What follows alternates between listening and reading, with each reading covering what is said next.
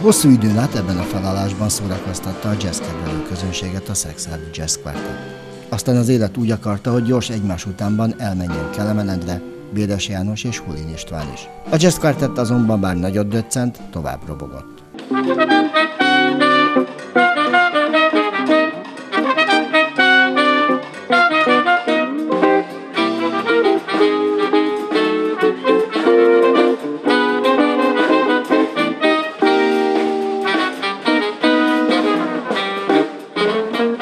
A hangzásában más, de a nagyősök szellemiségét hülyen követve mutatta meg magát az újra alakult együttes. Nagy változások történtek itt a Jazz Quartet életében az utóbbi pár évben. Sajnos a, nem arról szólt a az utóbbi pár, azt, mond, azt gondolom három-négy évünk, hogy, hogy új repertoárt építsünk, stb. Bár elkezdtük az új cd a, a felvételeit, de sajnos először Kelemen, dr. Kelemen Endre, utána Béres János, és tavaly pedig dr. Hulin István.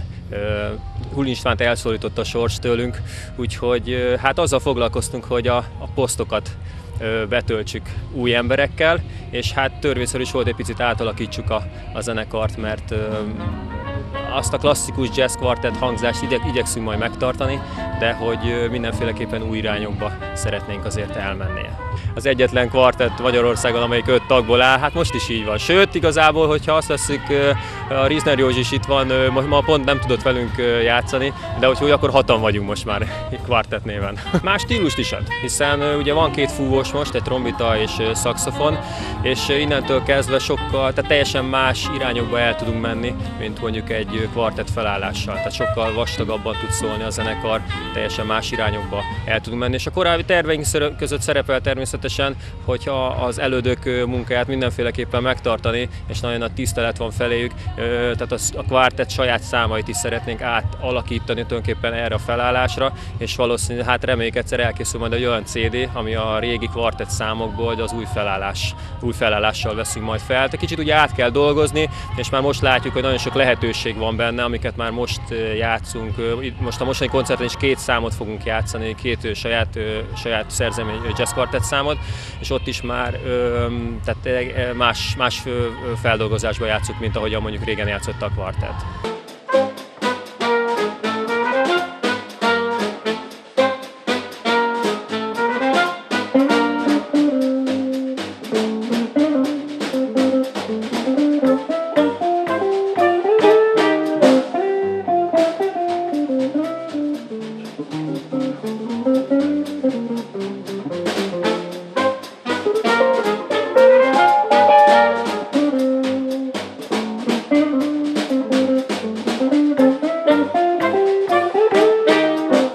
Kontinuitást Soponyai József az együttes dobosa képviseli, aki saját elmondása szerint ígéretet tett Hulin Istvánnak, hogy minden elejét latba védve megőrzi a Szexádi Jazz Quartettet. Fantasztikus emberekkel játszhattam együtt, akik már nincsenek, és fantasztikus emberekkel van szerencsém találkozni, vagy volt szerencsém találkozni. Kiváló emberek, remek muzsikusok, és ez egy azt hiszem garancia arra, hogy a Szexádi Jazz Quartett az tovább tudja folytatni azt, amit eddig megkezdett. A srácokkal én megbeszéltem, és egyetértettünk abban, hogy az nagyon fontos számunkra, hogy a Sexar Jazz Quartet, az elődök, amit létrehoztak, az megmaradjon. Tehát a Jazz Quartet korábbi kompozícióit, amelyek azt gondolom most már ikonikus számok, azokat mi is ezzel a formációval is tovább játszuk. Természetesen is itt jön a kor szelleme, fiatal emberek más érzés, más gondolatokkal, tehát egy kicsit átszabva, áthangszerelve, felújítva játszuk ezeket a számokat, de megmarad a lényeg, tehát az, hogy a jazz quartet kompozíciók, azok folyamatosan elhangzanak a mostani zenekar repertoárjában is.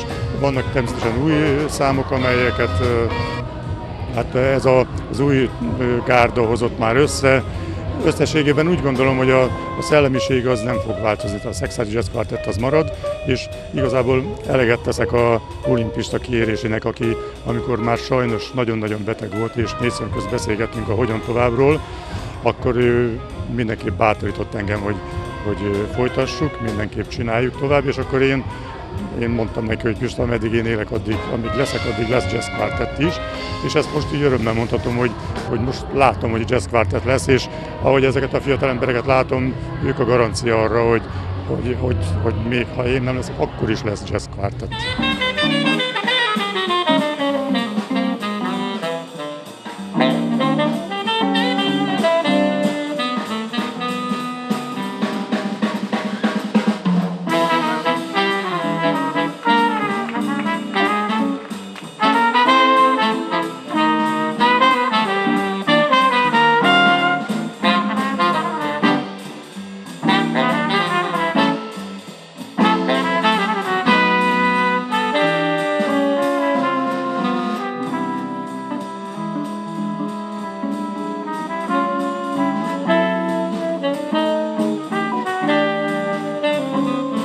Ugye régen az volt a, az volt a nagyon nagy dolog, hogy kvázi ugye amatőr, mi is amatőr zenészek vagyunk, de ugye a Pista bácsi is amatőr zenészként nagyon jó minőségben tudtak játszani. Viszont jóval kevesebb zenekar volt Magyarországon, jóval kevesebb jazz zenekar volt. Magyarország elég pici piac, tehát kicsit talán jobban lehetett érvényesülni. Most ugye sokkal több a zenekar, sokkal több profi van, akik igazából arra várnak, hogy hívják őket játszani, és amint lehetőséget kapnak, mennek, nem szoktak nagyon bulikat lemondani, hiszen, hiszen ők is ők abból élnek, és innentől kezdve nehezebb bekerülni egy picit ebbe a körforgásba. Hát ezen dolgozunk most, úgyhogy bízunk benne, hogy pár év alatt sikerül valamit úgy felépíteni, hogy egy picit azért, azért mi is bekerüljünk ebbe a körforgásba, kvázi mint jó értelemben vett amatőr zenekarként.